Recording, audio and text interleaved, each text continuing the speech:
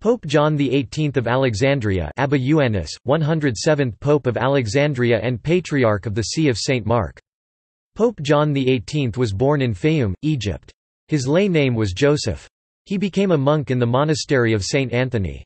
At the departure of Pope Mark VII, he was unanimously chosen to succeed him.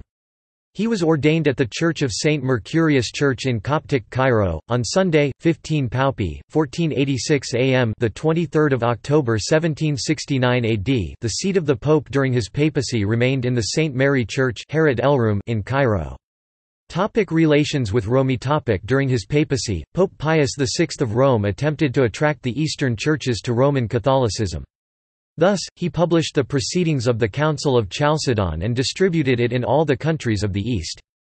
Pope Pius VI of Rome even sent an envoy to Pope John XVIII of Alexandria asking him to unite with the Roman Catholic Church.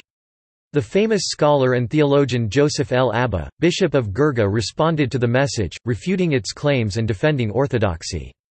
Topic persecution topic During the papacy of Pope John XVIII, the Copts were persecuted by the Ottoman rulers.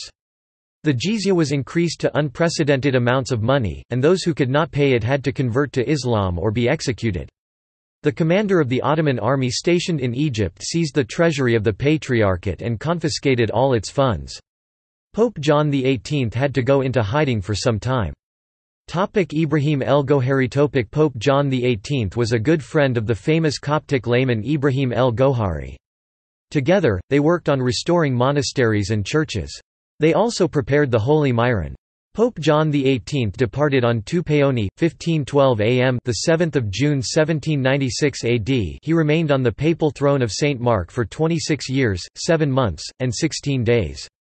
He was buried in the tombs of the patriarchs at St Mercurius Church in Coptic Cairo. The papal throne remained vacant after his departure for 3 months and 26 days.